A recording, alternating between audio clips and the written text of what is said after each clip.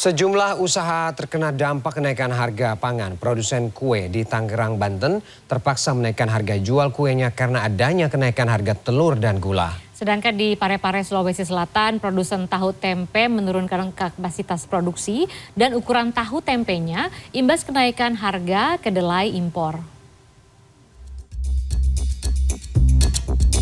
Kenaikan harga telur dan gula di pasaran berpengaruh pada usaha produksi kue rumahan di kota Tangerang, Banten. Kios kue Devin salah satunya. Sejak adanya kenaikan harga bahan utama seperti telur dan gula, membuat toko ini menaikkan harga kuenya.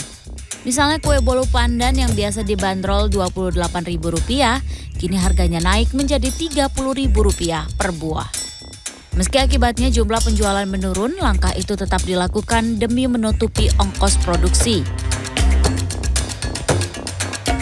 Sementara itu di kota Parepare, Sulawesi Selatan, sejumlah produsen tahu tempe di Kecamatan Soreang harus putar otak agar usahanya tidak gulung tikar.